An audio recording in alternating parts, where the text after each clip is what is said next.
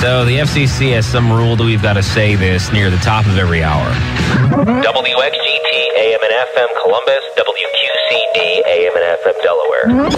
This is 93X, the better alternative.